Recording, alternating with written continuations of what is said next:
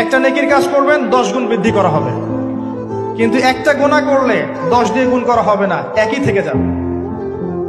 এবং কোনো ব্যক্তি যদি কবিরা গুণা ছেড়ে দেয়, কবিরা গুণা তো বোঝেন, বড় বড় গুণা ছেড়ে দেয়, তার সমস্ত সগিরা গুণা মাফ করে দেওয়া আর কি চাই?